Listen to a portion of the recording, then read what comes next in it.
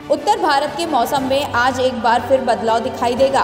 राजधानी दिल्ली में मौसम का मिजाज बदलने के आसार हैं। तो वहीं मौसम विभाग की माने तो दिल्ली में आज से आंशिक बादल छाए रहेंगे। तो वहीं मौसम विभाग के पूर्व अनुमान के मुताबिक राजधानी दिल्ली में 27 जून से 2 जुलाई तक गरज के साथ बारिश की भी गतिविधियाँ देखने को मिलेंगी। इसके साथ ही 28 जून से दिल्ली में रोज़ाना हल्की से मध्यम बारिश होने की संभावनाएँ भी हैं।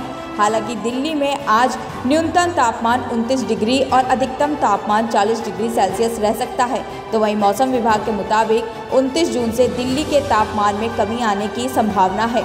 तो वहीं 30 जून तक दिल्ली में मानसून के पहुँचने की संभावनाएँ हैं। ब्यूरो रिपोर्ट आई